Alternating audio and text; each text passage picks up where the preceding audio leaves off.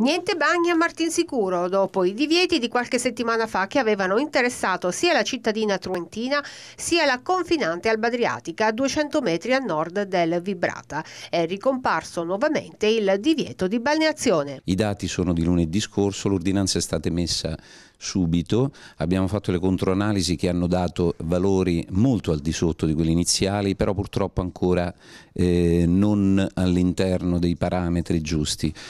Eh, l'altro prelievo c'è stato ieri, i dati li sapremo lunedì e io eh, presumo che si possa procedere poi eh, verosimilmente ad una revoca.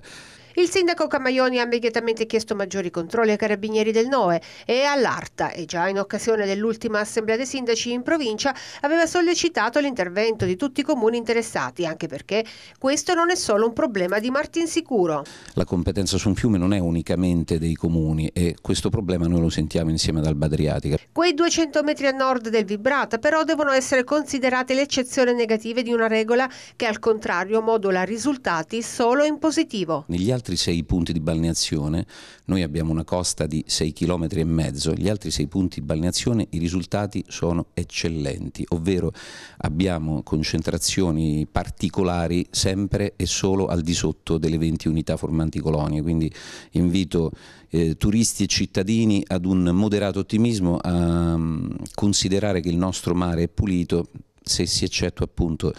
quel tratto che ci ha dato questi risultati e sul quale, come ripeto, stiamo lavorando assiduamente di concerto con tutti gli enti.